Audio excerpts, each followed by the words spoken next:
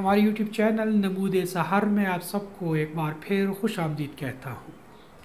Dear students आज हम English grammar की क्लास ले रहे हैं। इंग्लिश ग्रामर पर हम बात करेंगे और आज के लेक्चर में हम सेंटेंस क्या है और what are the different types of sentence इस पर तफसीली गुफ्तु करेंगे, आपको समझाने की कोशिश करेंगे। हमारी कोशिश होगी कि आज के लेक्चर में जितनी भी टाइप्स है सेंटेंस के, वो सब आपको समझा दें।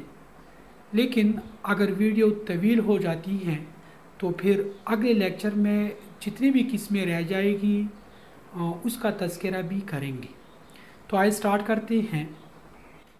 सेंटेंस अल्फाज के मजमू को आम तौर पर हम सेंटेंस कहते हैं। जब अल्फाज एक तरतीब में हों और उनसे कोई मफहूम इंसान की समझ में आ जाए तो उसको हम सेंटेंस कहते हैं। अब सेंटेंस की डिवीज़न जब हम करते हैं, जब क्लासिफिकेशन करते हैं तो इसके दो तरीके हैं।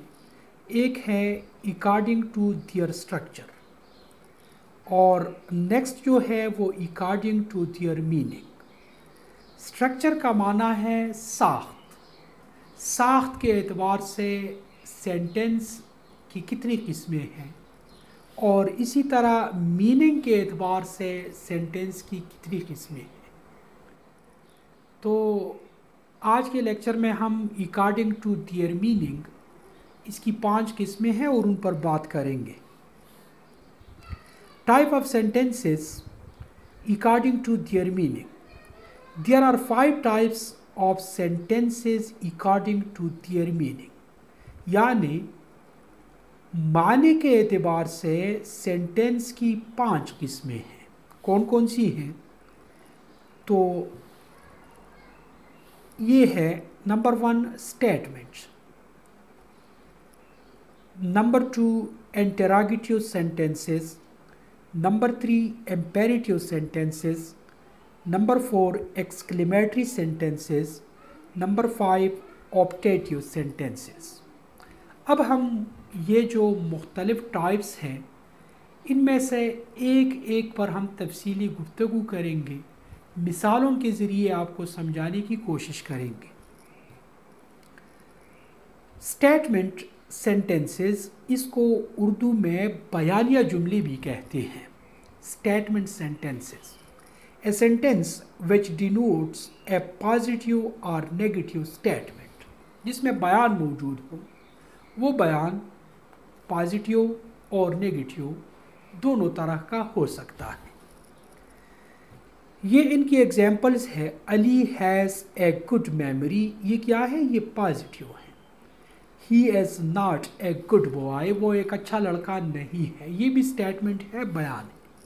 स्टेटमेंट, इसकी दो किस्में हैं नेगेटिव सेंटेंसेस और पॉजिटिव सेंटेंसेस ये दोनों इसमें शामिल हैं। यहाँ पर है टच मी मुझे टच करे।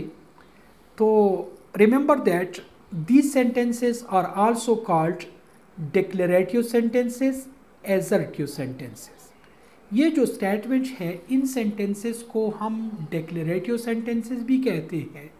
और एजर्टिव सेंटेंसेस भी कहते हैं।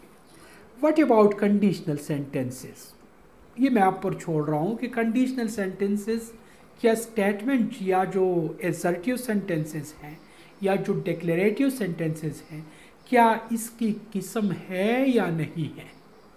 और जो कंडीशनल सेंटेंसेस है, इस पर हम एक मुकम्मल लेक्चर देंगे इन नेक्स्ट कि इनमें कौन कौन से रूल्स हमने फॉलो करने हैं। नेक्स्ट जो टाइप है वो है एम्पेरेटिव सेंटेंसेस हुक्मिया जुमले, हुक्म जिसमें मौजूद हो। An imperative sentence expresses a command request और ए पीस ऑफ़ एडवाइस तीन किस्म के काम अमूमन इसमें मौजूद हो सकते हैं। या तो इन जुमलों में कमांड मौजूद होगा, या फिर रिक्वेस्ट आप रिक्वेस्ट इसमें मौजूद होगा किसी काम की दरख्वास्त और या इसमें कोई मशवरा मौजूद होगा, अगर आप किसी को एडवाइस देते हैं, मशवरा देते हैं तो वो भी इन जुमलों में आप लिखते हैं। इन जुमलों को हम क्या कहते हैं? एम्पेरिटिव सेंटेंसेस या हुक्मिया जुमले। एग्जाम्पल्स है कमांड यहाँ पर कमांड है। कमांड की जो एग्ज़ाम्पल है ओपन द डोर दरवाज़ा खोलो। आप किसी को कहते हैं, किसी को हुक्म देते हैं कि दरवाज़ा खोल दे तो open the door leave the room at once कमरे से फ़ौर बाहर निकल जाओ। तो इसमें भी क्या है? हुक्म है। रिक्वेस्ट किससे करते हैं? हैव मर्सी अपान अस या किसी को मशवरा देते हैं एडवाइस देते हैं रेस्पेक्ट योर एल्डर्स यहाँ भी है टच मी तो इसमें क्या है, देखते हैं। Remember that in imperative sentences verb comes at the start of the state sentence verb यहाँ पर शुरू में आता है, जो फैल है, जो वर्ब है, वो स्टार्ट ऑफ़ द सेंटेंस पर आएगा। नेक्स्ट जो टाइप है, वो इंटरोगेटिव सेंटेंसेस है सवालिया जुमले, जिसमें कोई सवाल पूछा जाए कोई क्वेश्चन पूछा जाए तो उनको हम क्या कहते हैं? इंटरोगेटिव सेंटेंसेस कहते हैं। एग्जाम्पल्स हैं what is your opinion do you go to college इन जुमलों में देख ले, एक तो क्वेश्चन मार्क हैं, ये जुमले के आखिर में ज़रूर लगाना है। अगर आप ये निशान नहीं लगाएँगे तो आपका सेंटेंस जो है, वो गलत तस्वुर किया जाएगा। नेक्स्ट जो है वर्ड्स है क्वेश्चन वर्ड्स जिनके ज़रिए हम क्वेश्चन पूछते हैं। जिनमें वट है विन है वियर है हु इट्सट्रा इसी तरह हेल्पिंग वर्ब भी बाज़ अवत हम किसी सेंटेंस की शुरू में लगाते हैं। इज़ वाज डू और कैन वगैरह वगैरह। ये सब जो है, इनके ज़रिए भी हम क्वेश्चन पूछते हैं। अब जो नेक्स्ट टाइप है, वो है एक्सक्लीमेटरी सेंटेंसेस इस्तेजाबिया जुमले जिनमें ताजुब का इजहार हो। सडन फीलिंग का इजहार हो, जज्बात का पूरी इजहार, यहाँ पर मैंने लिखा है। किसी खौफनाक मंज़र को आप देखते हैं और अचानक आपके मुँह से कोई जुमला निकलता है। या फिर कोई खुशगवार माहौल आप देखते हैं अचानक। और अचानक आपके मुँह से कोई सेंटेंस निकल जाता है तो इन सेंटेंसेस को हम क्या कहते हैं इस्तेजाब या जुमले कहते हैं, या एक्सक्लेमेटरी सेंटेंसेस इनको कहते हैं an exclamatory sentence expresses some sudden feelings. अचानक जज्बात का पूरी इजहार या अचानक जज्बात का इजहार इस तरह की जुमलों में किया जाता है। एग्जाम्पल्स हैं हुर्रा और side has won the match, alas. The the young man met with an accident. ये क्या है? खुशी का इजहार है, इसमें अफसोस या गम का इजहार है।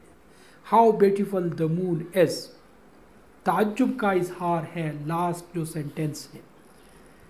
Touch me, you may need more. तो ये जो साइन है, इसको this is called sign of exclamation इसको साइन ऑफ़ एक्सक्लेमेशन कहा जाता है। अब ये साइन ऑफ़ एक्सक्लेमेशन इन सेंटेंसेस में आता है, और आपने इस साइन को कहाँ पर लगाना है तो यहाँ पर हमने कुछ बातें लिखी है। Put sign of exclamation just after exclamatory words जो एक्सक्लेमेटरी वर्ड्स है लास्ट जो स्लाइड था, जिसमें हमने एग्जाम्पल्स लिखी थी, इनमें हुर्रा, एलास, वाव एट्सट्रा बहुत सारे अल्फाज हैं एक्सक्लेमेटरी वर्ड्स जिनको हम कहते हैं, उनके फ़ौर आपने वो लगा देना है। इधर देख ले, इधर हुर्रा के फ़ौर बाद हमने वर्ड्स साइन ऑफ़ एक्सटीमेशन जो है, वो यहाँ पर लिखा है। इसी तरह नेक्स्ट जो जुमला है सेंटेंस है इनमें एलॉस के फ़ौर बाद हमने ये जो निशान है, ये हमने लगाया है। नेक्स्ट वन है sentences will end with full stop ये जो सेंटेंसेस है, इनके आखिर में आपने फुल स्टॉप लाजमी लगाना है। अगर फुल स्टॉप नहीं लगाएँगे तो आपका सेंटेंस जो है, वो गलत तस्वुर होगा। नेक्स्ट वन है when an exclamatory sentence start with what और how then sign of exclamation should be placed at the end of the sentence अगर कोई एक्सक्लेमेटरी सेंटेंस है और वो हाउ या वट से स्टार्ट हो जाए what a beautiful man how beautiful the moon is ये क्या है?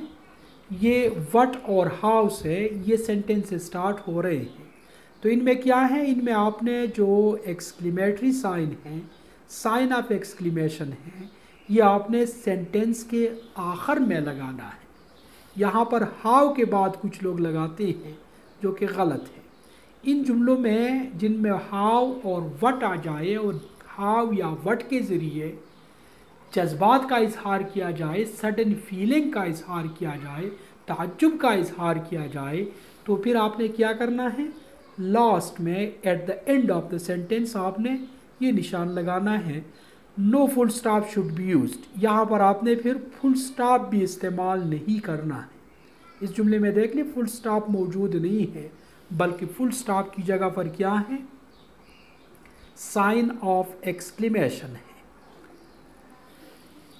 नेक्स्ट जो टाइप है, वो है ऑप्टेटिव सेंटेंसेस या निदाइया जुमले। निदा, ख्वाहिश का इजहार हो जिसमें। तमन्ना का इजहार हो दुआ इनमें मौजूद हो।